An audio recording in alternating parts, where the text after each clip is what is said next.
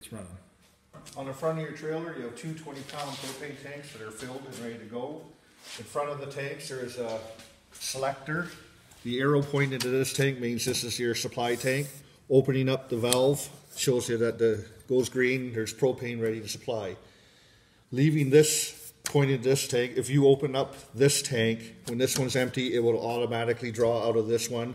Or if you leave this tank closed, you have to manually change it over to this tank and then open it when that one's empty.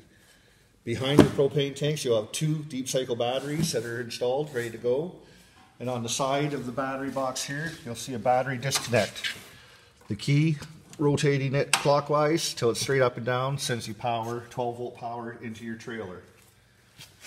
Coming around to the side, you have four stabilizer jacks, one in each corner of the trailer. There is a three quarter inch crank that's provided inside the trailer.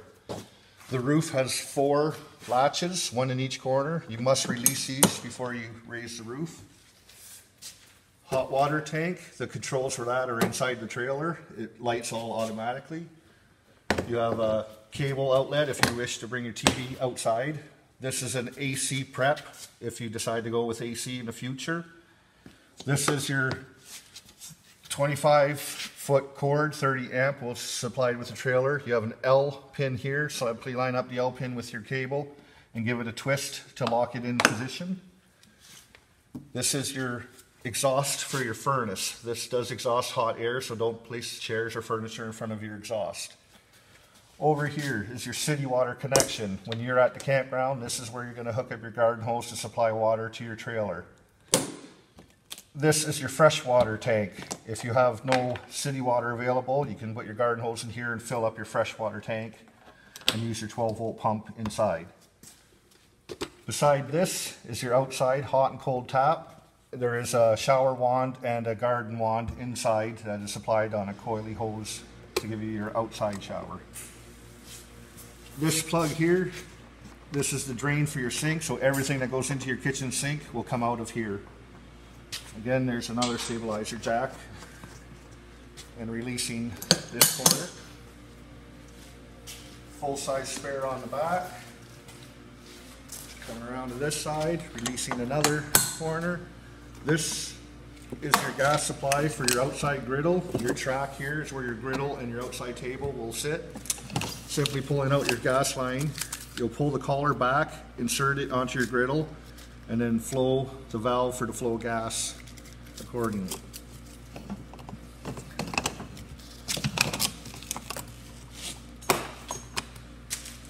You have 110 plugs here that will come alive once you're plugged into your trailer. You have an outside speaker. You have a porch light. The switch for the light is on the bottom of the light. And you have these are your fridge controls here. Propane, to light it on propane, you're simply going to push this valve down, turn it to the high position, and then hit your igniter until it lights. And you'll see a blue flame here to confirm that it is lit. That's on propane. Now on 110, if you're plugged in, simply turn the green switch up and you're working off a hydro. The red one is for 12 volt. Now knowing that 12 volt is a very big drain on your battery.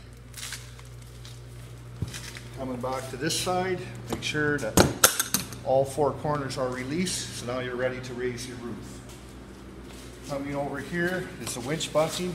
Up raises the roof up, and this is a very noisy winch.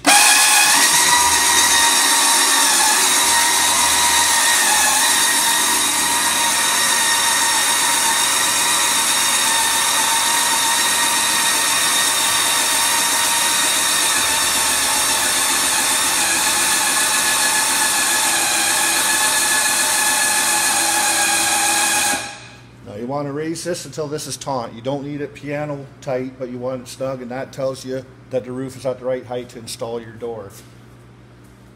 Coming around to your door side, you have two sets of poles for your bed. You have caps on the ends of them. Black caps go to the back of the trailer, white caps go to the front. You want these in place before bringing the bed out to prevent damage on the bed rails.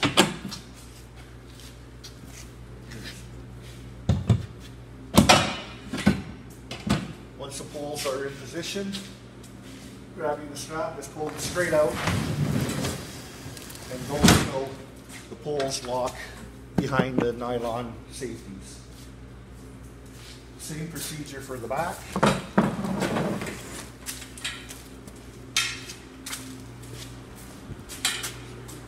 Pull in the slot down there. One up there. Again, just pulling the table out. The bed, sorry. So it comes to a complete stop. From this point, you want to grab the flap here. There's two flaps. This flap here, you're going to want to bring it around. It protects the corner of the canvas from all sharp edges. And there's a button here that you're going to want to find on the bottom. Snap your button in, Velcro, everything in place. Coming around here, simply zip it down. And you'll do the same procedure. There is a rope that goes from one side to the other to help fasten the canvas. You'll find on this side of the canvas, you're looking for that little ring, and that's where the rope will go into that ring. And this is the same procedure. this is the same procedure for the front bunk as well.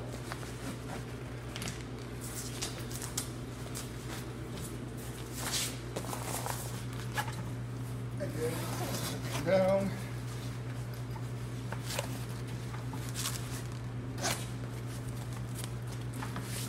Again, I'll do the same thing for the front.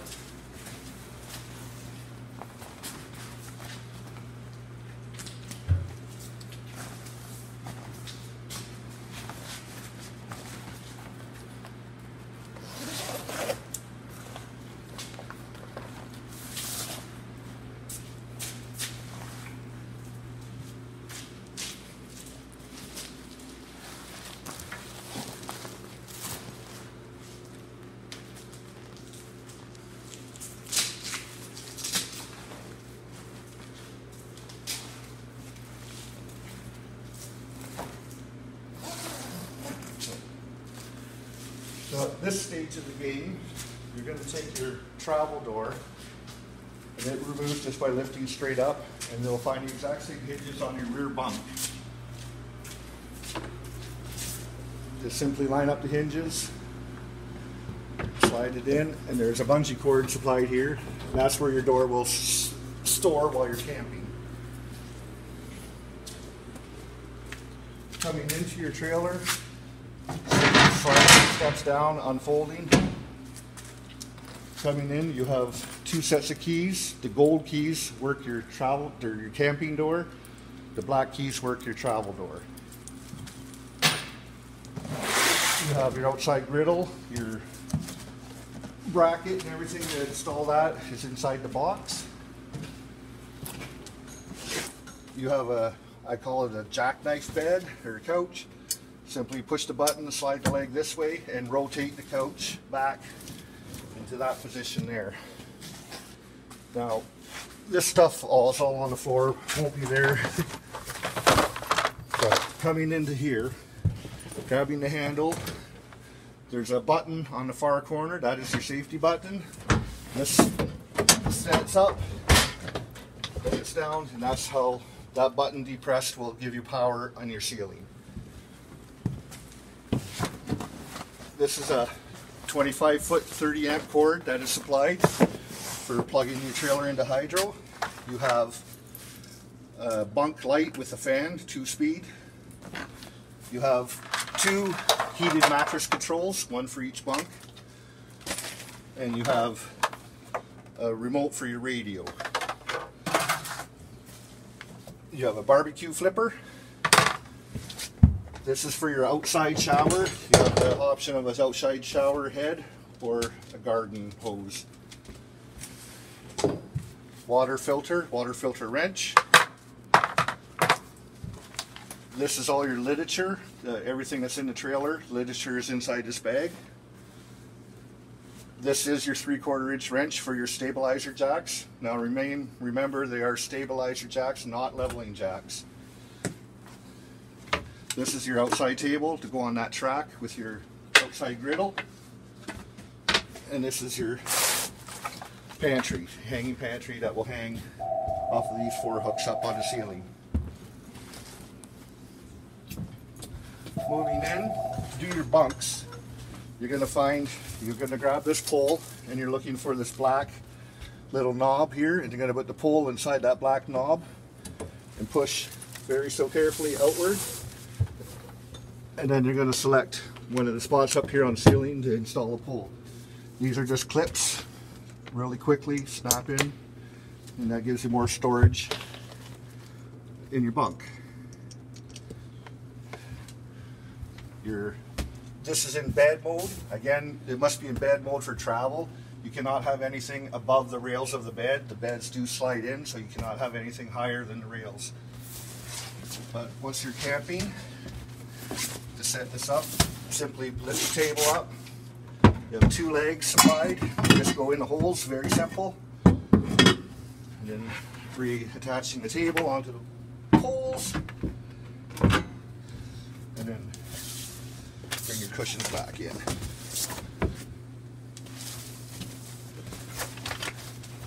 That's your table set up. Now on this side, you have a three burner stove. Simply select what burner you want, turn the knob and use a barbecue lighter to ignite. Hot cold running taps. Over here is there's your furnace.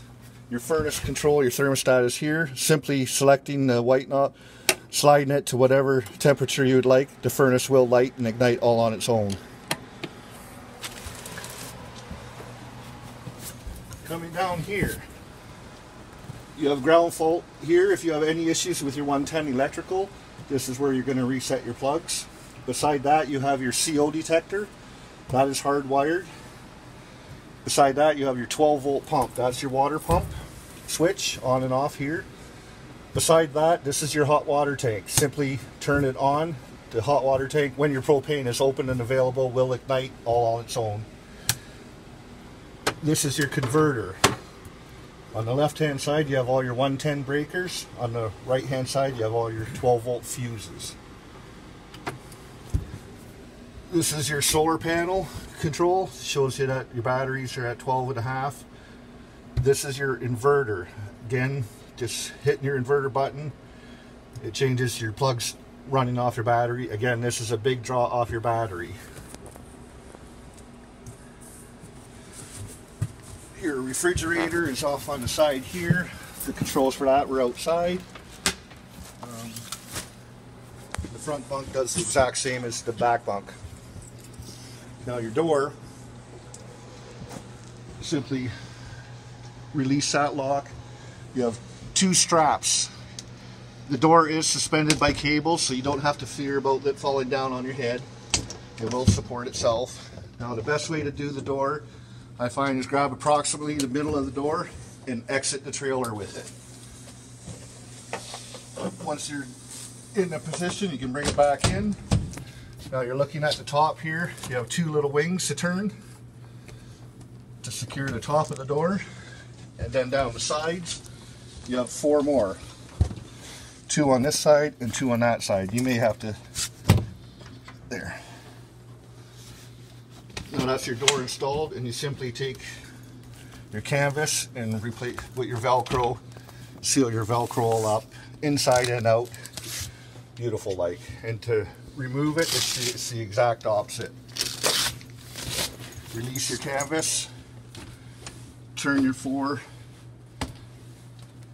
locks, make sure your door is closed, releasing that one, that one, and then simply slide it back up. Just make your move slow, and then you lift that side up and place it in. Again, you can let go of the door, it will not fall on your head. And then secure your straps.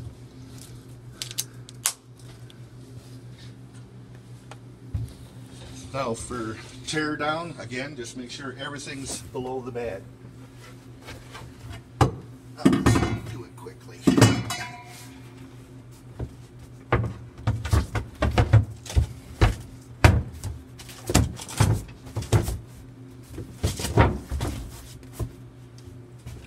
Nice to release these things. And I always release the canvas from the pipe. Like so. And this side's good released. Now everything has to go on the floor so the beds can travel.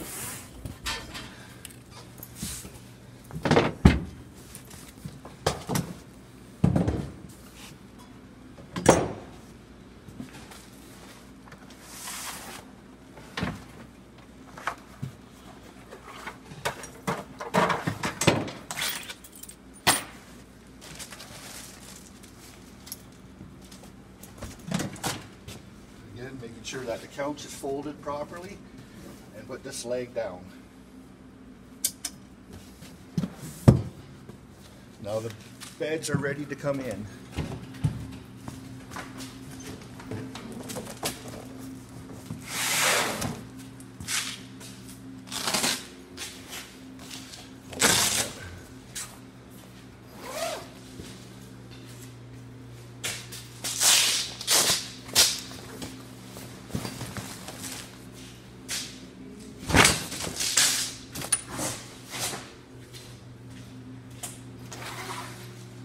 You only have to put the zipper up high. You don't have to go right up to the roof with the zipper. Once the canvas is released from the bunk, I like to fold this corner over to help keep the canvas in.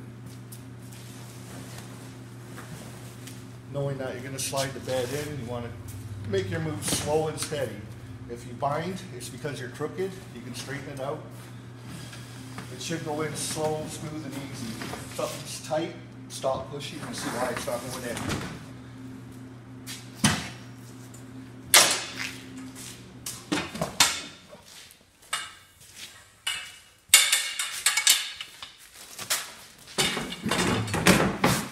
And the back is the same way. Again, if you do things slow, nothing gets damaged.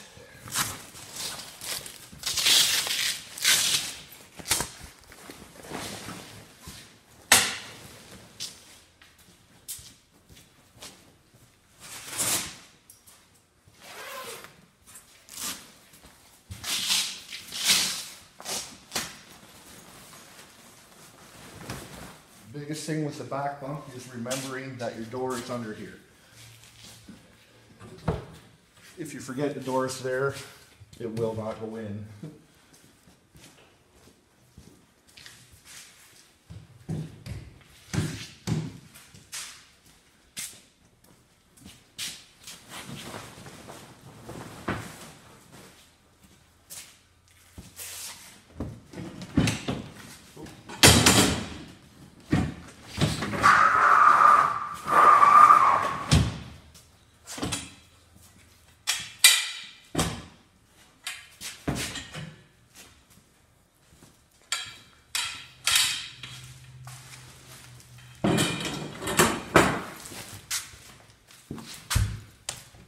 So at this point, you're ready to lower the roof, and I like to do it in two or three stages. Come to at least halfway or just a little more than halfway down.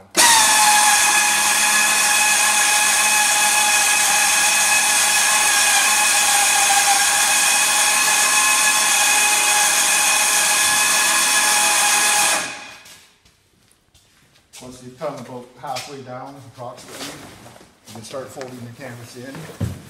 Also, make sure that the corners are not, you want to push the canvas as far in as you can in the corners. You don't want a bunch of bulk here, to- it'll help, it'll stop the roof from coming down.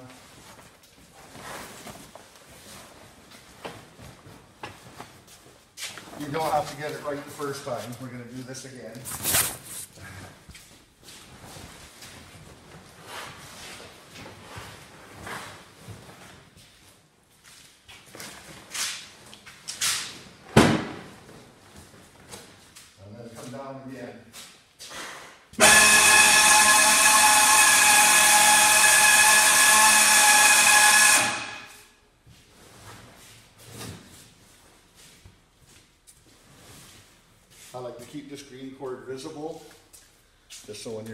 you know where it is.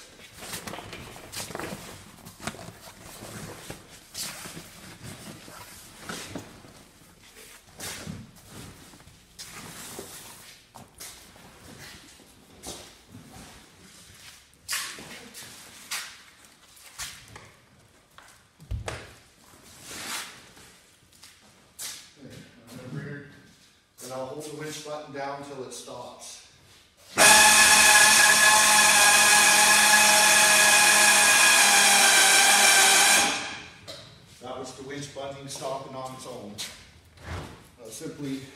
If you have to pull down on the roof a little bit, flip your latches up, and you should suck the roof down tight.